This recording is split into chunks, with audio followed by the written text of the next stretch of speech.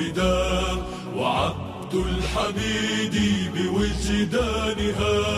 حباها ابن باديس أنفاسه فقامت إليه بأركانها.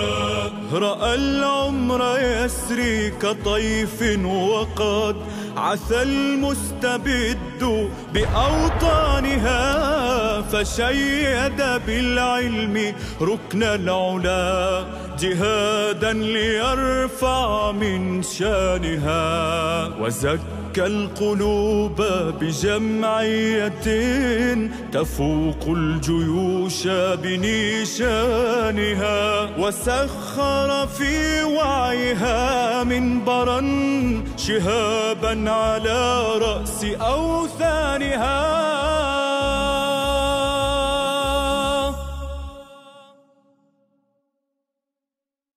دور العلامة ابن باديس في استقلال الجزائر عن فرنسا دور مركزي.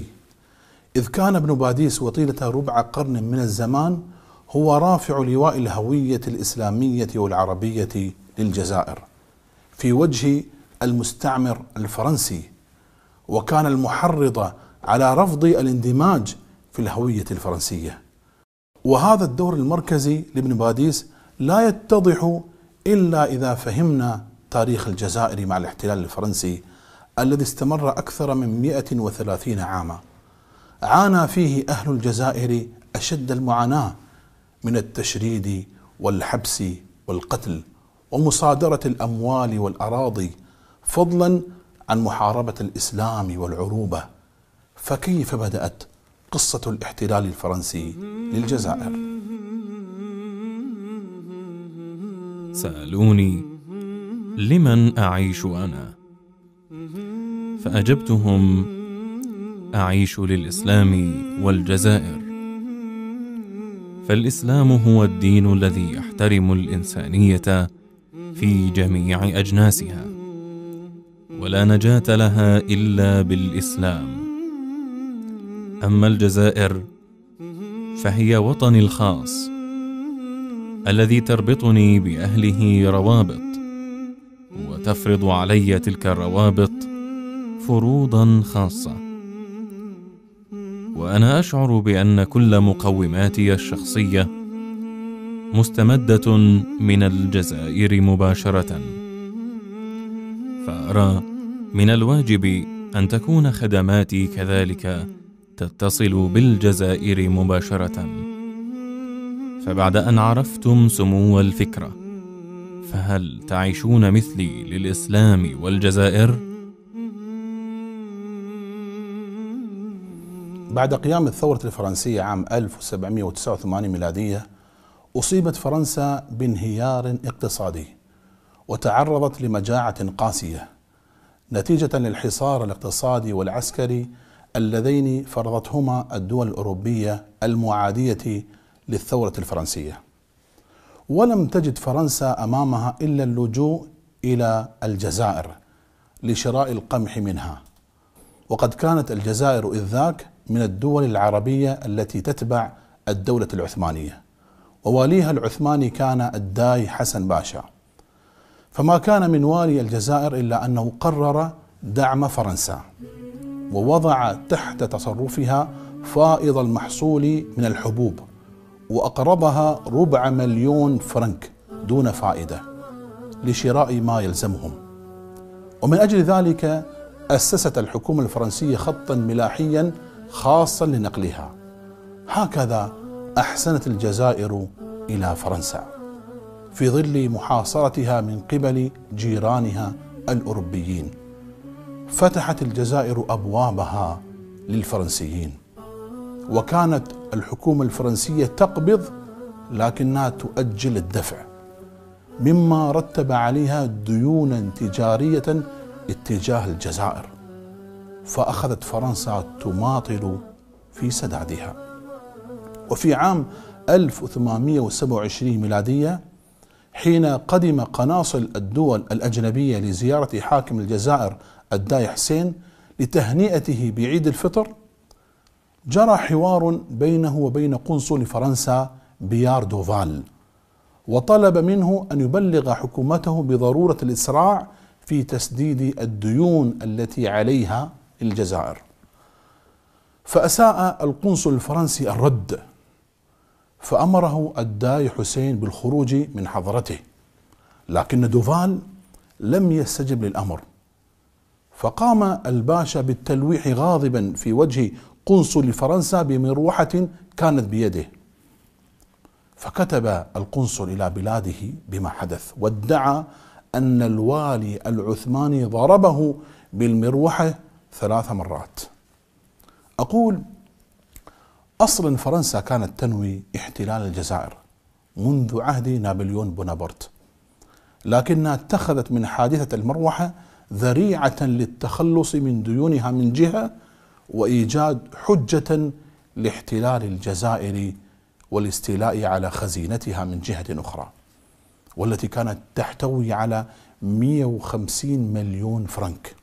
وللعلم فإن الدولة العثمانية في هذه الفترة بدأ الوهن يدب إليها وكانت تلقب بالرجل المريض. فتزايد طمع الدول الأوروبية الاستعمارية عليها. ومن جانب آخر كان للجزائر قبل الاستعمار أسطول بحري قوي. لكن مع مرور الزمن تقادم الأسطول حتى تحطم كليا في معركة نافرين البحرية عام 1827 عندما ساعدت الجزائر الدولة العثمانية خلال حرب الاستقلال اليونانية ولم يبقى من الأسطول الجزائري سوى خمسة سفن. فاغتنمت فرنسا الفرصة لتنفيذ مشروعها الاستعماري في الجزائر. وهكذا قابلت فرنسا إحسان الجزائر بقرار الاستعمار. فأرسلت فرنسا قطعة من أسطولها إلى الجزائر وطلب قائده من الوالي العثماني الداي حسين الاعتذار للقنصل إلا أنه رفض. فحاصر الفرنسيون الجزائر حصارا بحريا لمدة ثلاث سنوات متوالية بدءا من سنة 1827 وحتى 1830 ميلادية.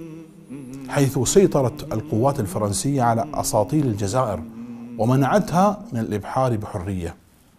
وفي عام 1830 قررت فرنسا الانتقال إلى الضرب العسكرية فقام ملك فرنسا شارل العاشر بإعلان الحرب على الجزائر وأعطاها طابعا دينيا حيث اعتبرها حملة مسيحية على بلاد البرابرة المسلمين وأنها في صالح كل العالم المسيحي.